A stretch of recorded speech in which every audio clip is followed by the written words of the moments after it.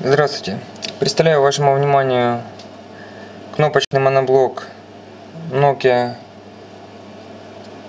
J6500. Это новая модель, недавно поступила в наш магазин, буквально позавчера.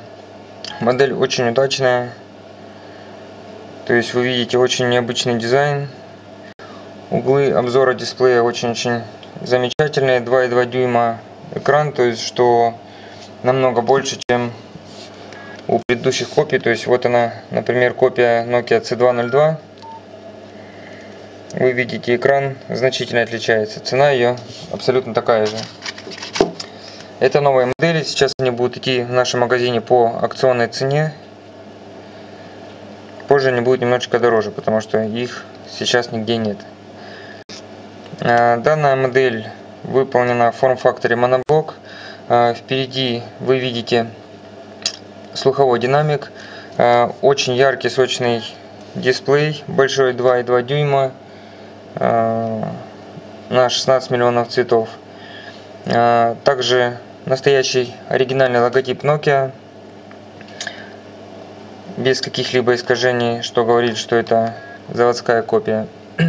Также в данном телефоне есть светодиодный фонарик Светит он очень-очень ярко, как во всех предыдущих моделях. Вот я выключу свет. Сейчас у нас день, как бы вы видите, фонарик светит очень хорошо. То есть данный фонарик можно использовать не только для подсветки замочной скважины для ключей, но и пользоваться им как полноценным фонариком, подсвечивая асфальт. Шрифт на экране достаточно большой, поэтому данным телефоном смогут пользоваться как люди пожилого возраста, у которых есть проблемы со зрением, так и молодежь. Э, телефон сделан очень-очень современно, очень стильно, дизайн очень удачный, ничего лишнего.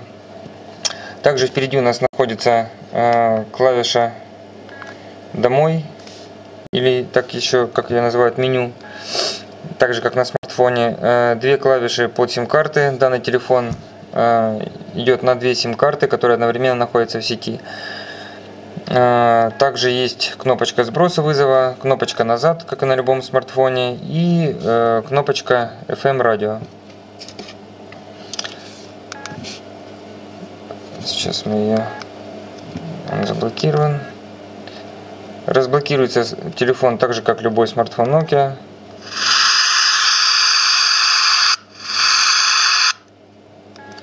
Вот мы видим, что в данном телефоне можно прослушивать радио без подключения гарнитуры, то есть на громкой связи. А, кнопочки на, на этом телефоне достаточно крупные. Нажатие их очень-очень мягкое. Сейчас мы разблокируем клавиатуру. Шрифт достаточно большой, то есть как бы очень-очень удобный телефон. Подойдет любой категории. Подсветка на клавишах также достаточно яркая что не так что у вас не возникнет труда печатать смс набирать номер телефона и все остальное. А, в данном телефоне мы видим что нет ничего лишнего даже нету качели громкости. Громкость регулируется у нас джойстиком вверх-вниз. Так тут у нас еще ух ты ж. Я не совсем понимаю. К данному телефону еще идет и стилус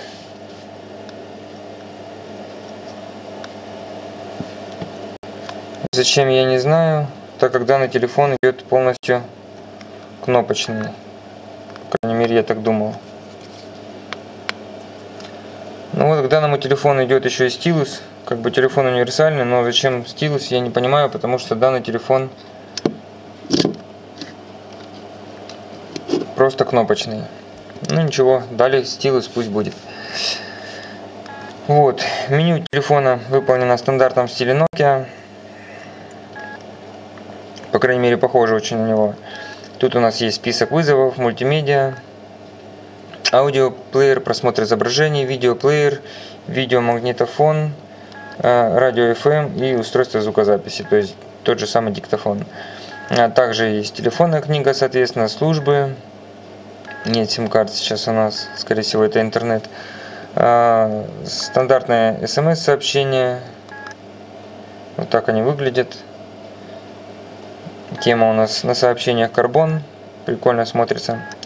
Также дополнительные настройки, такие как фонарик, заметка и калькулятор. Установки, точнее настройки органайзер, Bluetooth, профили пользователя, управление файлами и камера. Камера в данном телефоне достаточно хорошая. Э, снимает она 640 на 480 пикселей или точек. Э, данная камера идет 2 мегапикселя. Но снимает, тут вы видите, достаточно хорошо. То есть на последних самых копиях с новой прошивкой камеры снимают достаточно хорошо для 2 мегапикселей. Вот. Э, данный телефон выполнен из высокопрочного пластика. На задней э, части телефона мы видим камеру 2 мегапикселя и три огромных динамика. Ну, то есть один огромный динамик и два дополнительных. В верхней части телефона мы видим э, фонарик, разъем под наушники 3,5, стандартный 3,5 мм. Стилус, непонятно для чего он здесь, но он есть. И также стандартное зарядное устройство для Nokia, точнее разъем под него, и стандартное стандартный разъем microUSB для подключения телефона и синхронизации его с компьютером. А, кстати, в данном телефоне, так он открывается, сейчас мы попробуем открыть. Телефон новый, открывается очень непросто. Ага, вот, все, все оказывается проще. В данном телефоне стоит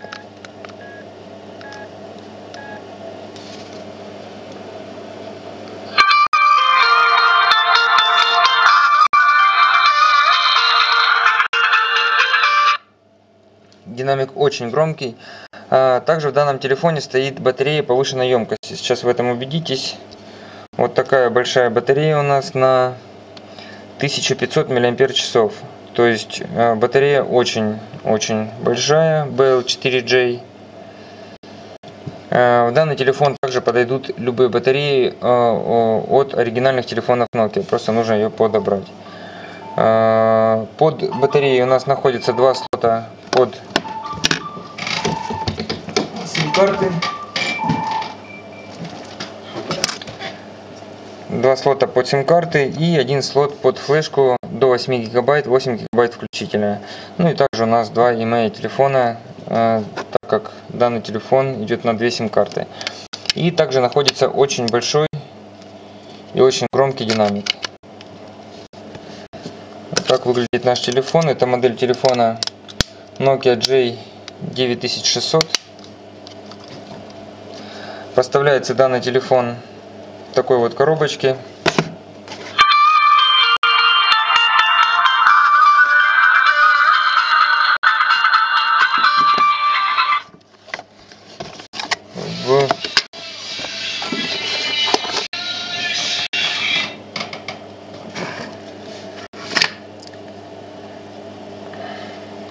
В меню очень цветное, красивое.